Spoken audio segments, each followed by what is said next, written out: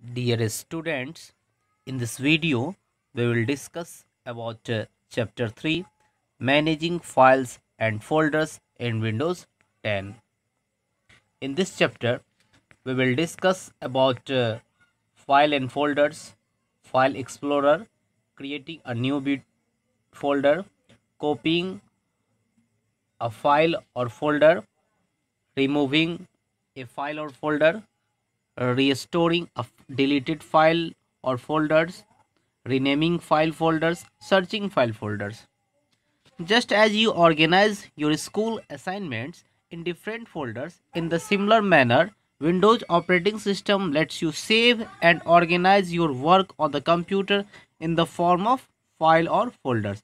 कहने का मतलब हुआ कि जैसे कि आप अपना स्कूल असाइनमेंट जो अलग अलग फोल्डर्स में बनाकर उसे एक रखते हो, इसी तरह जो है विंडोज़ ऑपरेटिंग सिस्टम जो है, वो आपके आपके द्वारा जो कंप्यूटर सिस्टम पे जो भी आप काम करते हो, उसको फाइल्स और फोल्डर्स के रूप में वो कंप्यूटर सिस्टम में वो सेव करके रखता है। Let's you learn more about them अब इसी के बारे में यहाँ पे इस चैप्टर में डिस्कस करना है। देखिए, सबसे पहला आपका फ़ाइल है। फाइल्स ये क्या होता है files a files is a collection of data store in the form of text pictures music और वीडियोस मीन्स कहने का मतलब फ़ाइल जो होता है वो कलेक्शन ऑफ़ डाटा होता है, जो कि आपका टेक्स्ट के फॉर्म में या पिक्चर्स के फॉर्म में या म्यूज़िक के फॉर्म में या वीडियो के फॉर्म में जो है ये स्टोर होता है. For example you might draw a picture in a paint जैसे कि आप कोई एम एस पेंट ओपन करते हो, कोई पिक्चर ड्रॉ करते हो create a document in word या कोई वर्ड में कोई आप नया डॉक्यूमेंट क्रिएट करते हो, या कोई मूवी आप इंटरनेट से डाउनलोड करते हो all these get save as separate files on a computer ये सभी जो है, वो कंप्यूटर पे सेपरेट करके हम लोग सेव करके रखते हैं।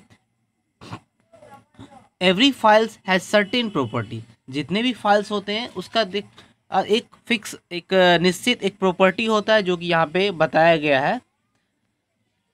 Every file is identify by name जितने भी फाइल्स होते हैं, वो सारे फ़ाइल को आइडेंटिफाई किया जाता है नेम के द्वारा। तो जो भी फ़ाइल होता है, उसका एक नाम से पहचाना जाता है कि ये कौन सा फ़ाइल है। A file can be saved on the hard disk ये जो फ़ाइल होता है, इस फ़ाइल को हम सेव करके रख सकते हैं। हार्ड डिस्क में सीडी में डीवीडी में पेन ड्राइव में any other secondary storage device जो भी स्टोरेज डिवाइस होता है सेकेंडरी स्टोरेज डिवाइस उसमें हम फाइल्स को स्टोर करके सेव करके रख सकते हैं। A file has an icon associated with it file जो होता है फ़ाइल का आइकन्स भी होता है file the icon help you quickly identify the file of type of file ये जो आइकन होता है आइकन के मदद से हम कोई भी फ़ाइल को क्विकली मतलब जल्द से समझ लेते हैं कि ये कौन से फ़ाइल का टाइप्स है। अगर मान लीजिए कोई वर्ड फ़ाइल है, कोई म्यूज़िक फ़ाइल है कोई एक्सेल का फ़ाइल है तो uh, इस आइकन से हम जो है पहचान लेते हैं कि ये कौन सा फ़ाइल है। तो आइकन्स जो है उसके लिए ये हेल्पफुल होता है। जैसे यहाँ पे दिखाया गया आपको दो icons figure three point one और फिगर थ्री पॉइंट टू में जो कि देखिए एक इंग्लिश का कोई डॉक्यूमेंट बनाया हुआ है और ये वर्ड फ़ाइल है तो यहाँ पे वर्ड फ़ाइल का आइकन्स लगाया हुआ है। इससे हम लोग समझ रहे हैं समझ रहे हैं कि ये फ़ाइल जो है आ, कोई टॉपिक जो है वो इंग्लिश के बारे में लिखा हुआ है जो कि वर्ड फ़ाइल बनाया हुआ है इसका। जैसे यहाँ पे देखिए म्यूज़िक फ़ाइल है इससे हमको पता चल जाता है कि ये म्यूज़िक फ़ाइल है अगर म्यूज़िक से रिलेटेड कोई अगर हमको देखना है तो इस फ़ाइल को क्रिएट करके हम मतलब सारे फाइल्स को ओपन कर सकते हैं। तो यहाँ पर जो है ये वर्ड फ़ाइल म्यूज़िक फ़ाइल के आइकन से हमें पता चल जाता है कि कौन सा फ़ाइल है। इसी ये सब अभी जो हम लोग इसमें देखे हैं सारा ये फ़ाइल का प्रॉपर्टीज़ है। इसी तरह होता है नेक्स्ट आपका फोल्डर होता है। ये देखिए फोल्डर क्या होता है?